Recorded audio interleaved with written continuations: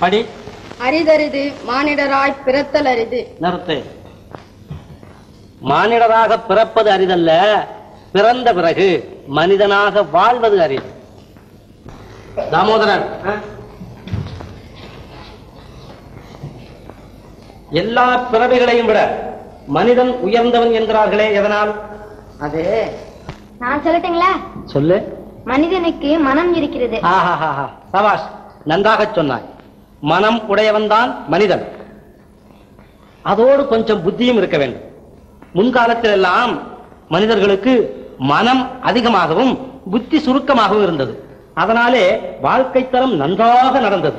இப்பொழுதோ புத்தி அதிகமாகி மனம் சுருங்கி விட்டது அதனாலே மனுஷன் நேசம் மறைந்து விட்டான் நேர்மை இழந்து விட்டான். ஒருவனை ஒருவன் பகைவனாக கருதி சந்தேகிக்கிறான். இது கொடுமை. இந்த நிலை மாற வேண்டும்.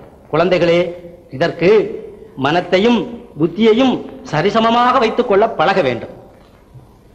மனம் அதிகமாக உடைய ஒரு சிலரின் கதையை சொல்லுகிறேன் கேளுங்கள். செத்தும் கொடை கொடுத்தார் சீதக்காதி மறைக்காயர் ஐயா நான் போய் வரட்டுமா.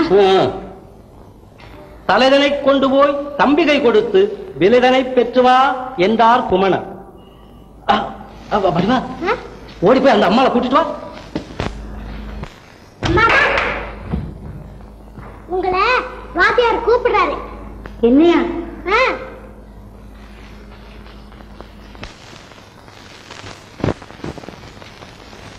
ராதே நீ எங்க போகிறாய்?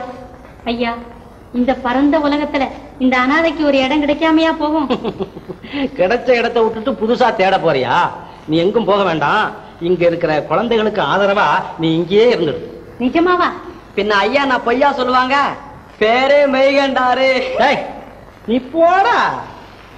நீ எங்கும் போக வேண்டாமா போ போ. அண்ணே.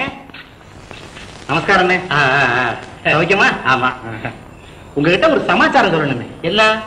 நம்ம தெருக்கோடி செல்லமுத்தண்ணேல ஆமா. அவர் நடக்கிறது கொஞ்சம் கூட சரியில்லைண்ணே. ஏன் கால்ல கட்டி வந்திருக்கோம்? என்னண்ணே நீங்க? அவர் நடக்கிறதுனா நடத்த சரியில்லைண்ணே. அப்படியா? கொண்டாட்டி ஆத்தா வீட்டுக்கு அனுப்பிச்சிட்டு. எவ்வளவு ஒருத்தி கொண்டாந்து. வீட்டுல வச்சிருக்காரு. ராத்திரி ரெண்டு மணி வரைக்கும் லைட் எரியுதுண்ணே ஆ. ஊர்ல எங்க பார்த்தாலும் கடை.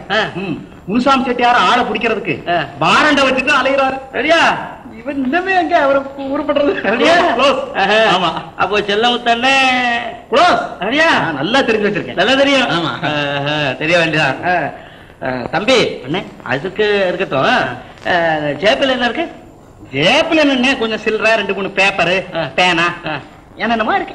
அதுல. சில்லறைன்னா அது எவ்வளவு சில்லறை ஆ. பேப்பர்னா அது எத்தனை பேப்பர்.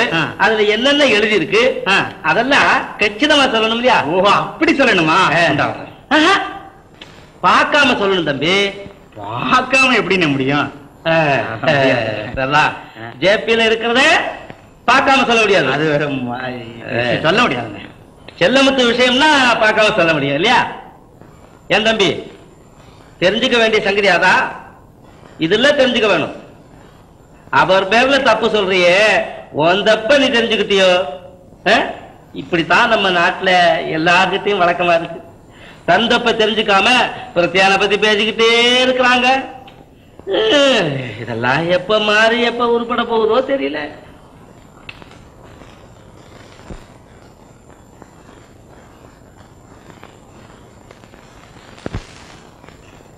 வாங்க வாங்க. எங்க போயிட்டு வரீங்க? டா, அதெல்லாம் அதட்டாத. இன்னையில இருந்து நான் ராஜா ஆயிட்டேன். ஆ? ராஜா? ஆயிட்டேன். நாடு குடியரசு ஆகி போச்சு. நான் மட்டும் இல்ல நம்ம தேசத்துல உள்ள முப்பது கோடி மக்களும் முப்பது கோடி ராஜா ஆயாச்சு. அப்படியா? ஏன் ராசா காலையில எந்திரிச்சு எந்த தர்பாருக்கு போயிட்டு வரீங்க? தர்பாரா? நாங்க ஒண்ணும் போல பொதுக்கூட்டத்துக்கு போயிட்டு வரேன். பொதுக்கூட்டத்துக்கா இங்க வாங்க.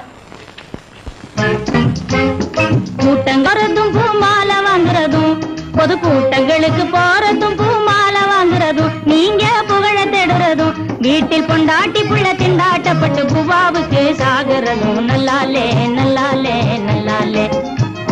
கொடிய புடிச்சு தெரு தெருவா கூச்சல் போடுறதும் கொடிய புடிச்சு தெரு தெருவா லஞ்சம் கொடுத்ததும் கட்சி கொள்கை பேசுறதும் அங்கே குண்டாந்தடிய கண்டா நீங்க கொடரிக்க ஓடுறதும். நல்லாலே நல்லாலே நல்லாலே. அஞ்சு ஏக்கர் புஞ்ச நிலத்தை நஞ்ச பண்ணாமே அஞ்சு ஏக்கர் புஞ்ச நிலத்தை நஞ்ச பண்ணாமே. நாத்து நடவு நடாம் உணவு கடுத்த நாட்டுக்காரனையே அனுப்ப சொல்லி கேட்கிறதும் நல்லாலே. பொதுவா நல்லாலே நிஜமா நல்லாலே நல்லாலே. கூட்டம் போடுறதும் பூவாவுக்கு வழி செய்யத்தான். பொதுக்கூட்டம் போட்டு போட்டு தான் இன்னைக்கு நாடு சுதந்திரம் அடைஞ்சிருக்குன்னு. என்னது? நாடு சுதந்திரம் அடைஞ்சிருச்சா? நிறுத்துங்க. சுதந்திரம் வந்ததுன்னு சொல்லாதீங்க. சொல்லி சும்மா சும்மா வெறும் வாயை மெல்லாதீங்க. நீங்க சுதந்திரம் வந்ததுன்னு சொல்லாதீங்க. சொல்லி சும்மா சும்மா வெறும் வாயை மெல்லாதீங்க. மதம் ஜாதி பேதம் மனசை விட்டு நீங்களே. மதம் ஜாதி பேதம் மனசை விட்டு நீங்களே. காந்தி மகான் சொன்ன வார்த்தை போல மக்கள் இன்னும் நடக்கலே. சுதந்திரம் வந்ததுன்னு சொல்லாதீங்க. சொல்லி சும்மா சும்மா வெறும்பாயை மெல்லாதீங்க ஊத்து கிணறு வெட்ட சொல்லி உதவி செஞ்சாங்க. கிணறு சொல்லி உதவி செஞ்சாங்க. பண உதவி செஞ்சாங்க. அதில் ஏத்த இறக்கிதான்னு யாரும் பார்க்கவில்லைங்க. அதில் ஏத்த இறக்கிதான்னு யாரும் பார்க்கவில்லைங்க. சோத்து பஞ்சம் துணி பஞ்சம்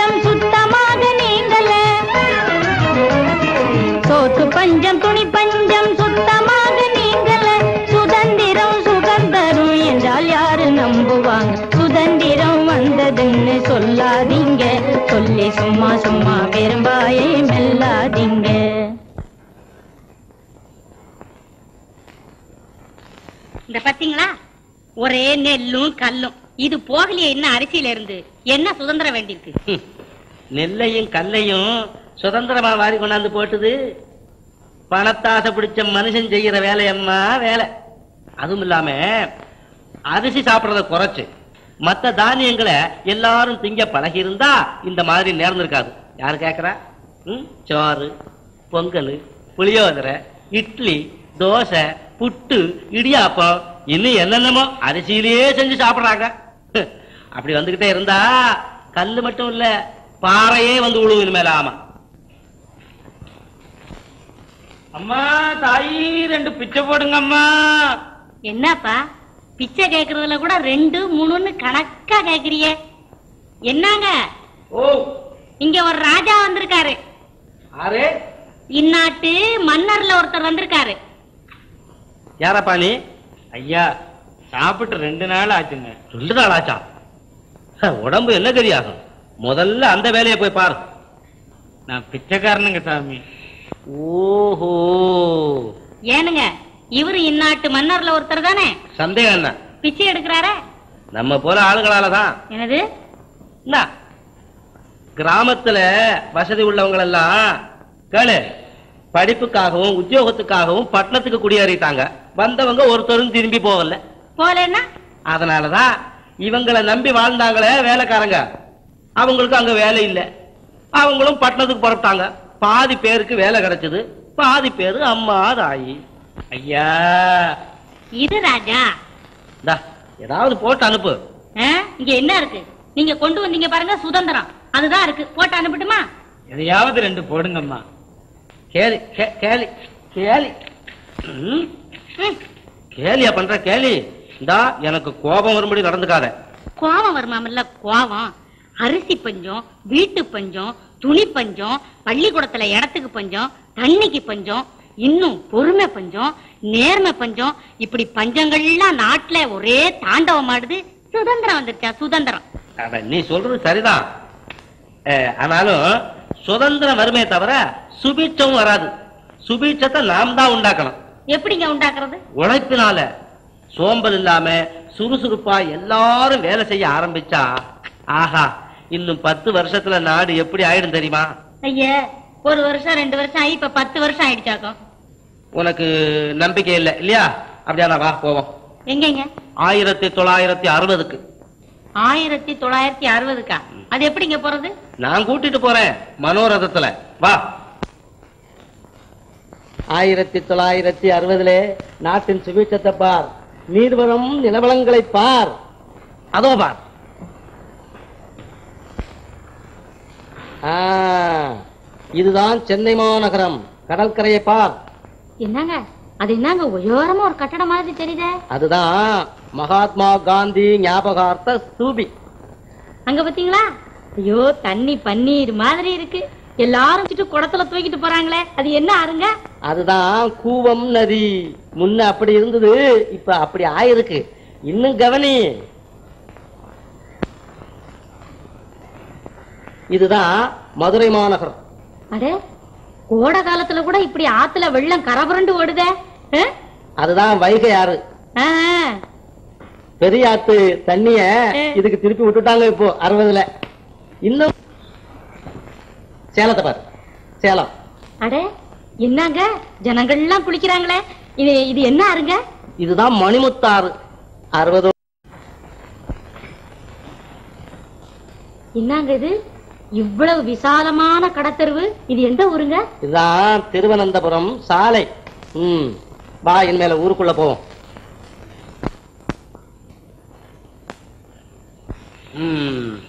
அறுபதுக்கு வந்துட்டோம். என்ன போட்டுருக்கு பாரு. ஆயிரத்தி தொள்ளாயிரத்தி அறுபது. அக்கா. வாடா தம்பி. அம்மாவுக்கு உடம்பு எப்படி இருக்கு? எங்கக்கா அப்படியே தான் இருக்குது. அதாவது அம்மாவுக்கு ஒரு ஆசை. என்ன? சாகரத்துக்குள்ளார ஒரு ரெண்டு மூணு பேருக்கு அன்னதானம் செய்துட்டு சாகணும்னு. செய்யறதானே? செய்யலாக்கா. அரிசி இருக்குது காகரி கறி எல்லாம் இருக்குது. திங்கிறதுக்கு மனுஷால் இல்லையே. அதனாலதான் அத்தா மூலியமா ரெண்டு மூணு பிச்சைக்காரனுங்களை ஆ? என்னது? அத்தா மூலியமா பிச்சைக்காரன்? பிச்சைக்காரன் இந்த ஊர்லயே கிடையாது. இந்த ஊர்ல இங்க மட்டும் இல்ல இந்தியாவிலேயே கண்ண ஓஹோ. உனக்கு அப்படி அவசியமா வந்துதான் ஆக வேணும்னு இருந்தா பத்திரிக்கையில விளம்பரப்படுத்து. வெளிநாட்டுகள்ல இருந்தா வரட்டும். சரி அப்படியாவது செய்து பாக்குறேன்.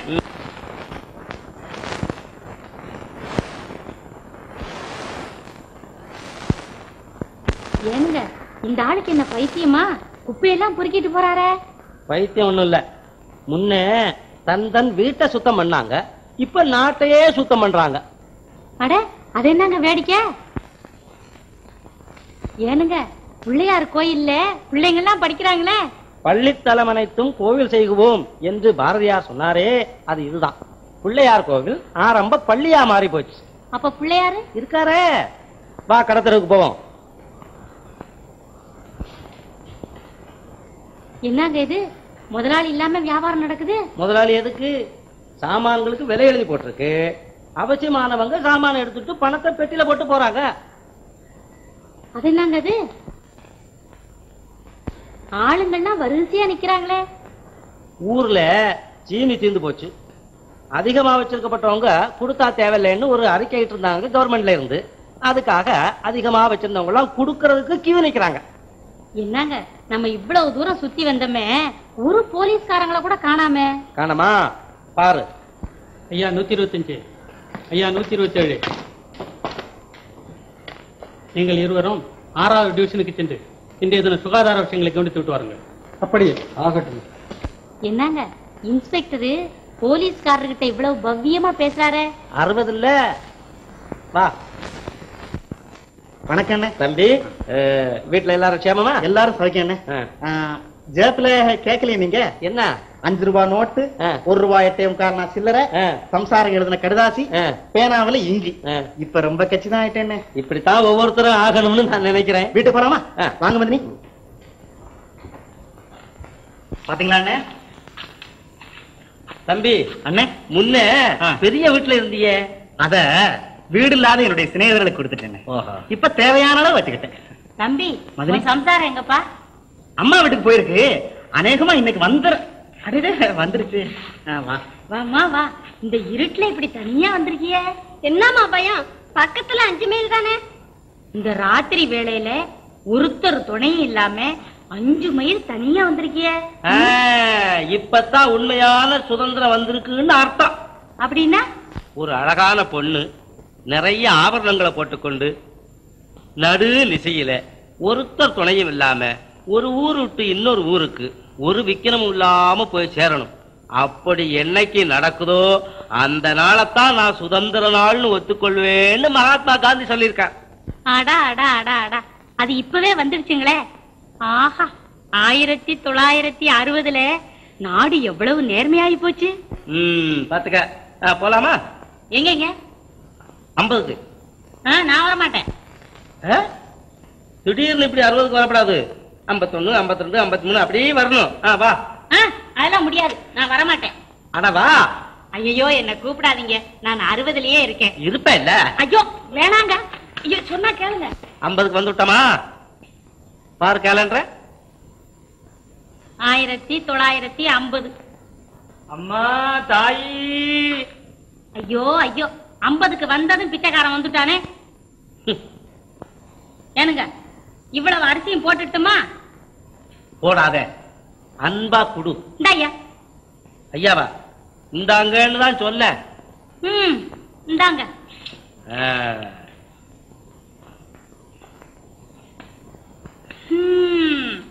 நீங்க அறுபதை கனவு கண்டுட்டு ஐம்பதுலயே உட்கார்ந்துருக்கீங்க. உங்க கனவு நினைவாகிறது ரொம்ப கஷ்டம். ரொம்ப சுலபம். ஆனா எல்லாரும் கொஞ்சம் அக்கறையா இருக்கணும் அவ்வளவுதான். என் கனவு ஒண்ணு வீண் போகாது. நீ பாரு ஆயிரத்தி தொள்ளாயிரத்தி அறுபதுல நாடு சுபிட்சமா இருந்துதான் ஆகணும்னு. அது எப்படிங்க? இருக்கு விஷயம் இருக்கு. வரப்போற தேர்தல்ல எல்லாரும் கொஞ்சம் கவனமா இருந்தா அதே போதும். ஏன்னா நாட்டை ஆள்றது நாம தானே நாமன்னா நாம இல்ல நம்ம ஓட்டு. தெரியுமா? அந்த எலெக்ஷன் வருது பாரு. அப்போ நம்ம ஓட்டு கொடுக்கறோமே. அத கொஞ்சம் கவனமா யோசிச்சு கொடுத்துட்டா போதும். அறஞ்செய விரும்பு ஆறுவது சினம். அறஞ்செய விரும்பு. சினம் கொள்ளாதே.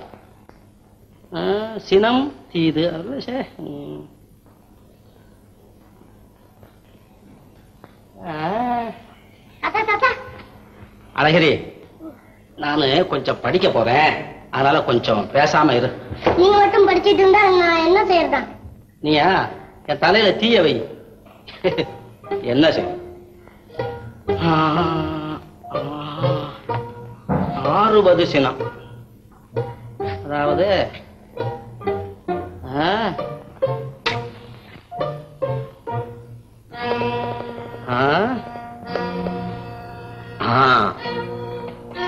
சினத்துக்குத்தான் ஆறும் தன்மை உண்டு.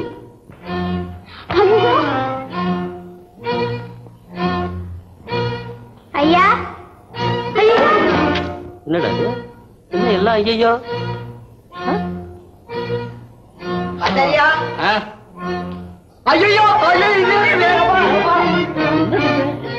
என்ன எல்லாரும் பயந்து ஓடுறாங்களே? என்னடா அது ஐயோ அப்பப்பான்னு சத்தம் போட்டுக்கிட்டு கொஞ்சம் கூட மரியாதை இல்லாம. ஐயா அண்ணன் ஐயோ! ஐயோ! என்ன? சுடல! சுடல. ஐயா சத்தியமா சுடல? அட சத்தியமா சுடல. ஐயோ எனக்கு பயமா? அம்மா. என்ன ஆ? என்னமோ இருக்காங்க. அம்மா அங்க உட போச்சு. ஓஹோ! இதுவா சங்கதி? ஏண்டா? நான் விளையாட்டா சொன்னா நீ நிஜமாவே தீய வச்சுக்கிட்டு ஓடியாந்துட்டியா அழகிரி அப்படி செஞ்சா. ஏண்டா டேய்? அவன் பேர்ல தப்பு இல்ல. இந்தா, அடிக்காத. அவன் வந்து நான் என்ன செய்யறதுன்னா என் தலையில தீய வையின்னு வச்சான். அப்படியா? குழந்தைங்க கிட்ட இந்த வார்த்தை தான் சொல்லலாம். இந்த வார்த்தை சொல்லக்கூடாதுன்னு. ஐயாவுக்கே தெரியல. டேய் இந்த உலகத்துல நாம் என்னடா தெரிஞ்சுக்கிட்டோம்? நாம தெரிஞ்ச சங்கதி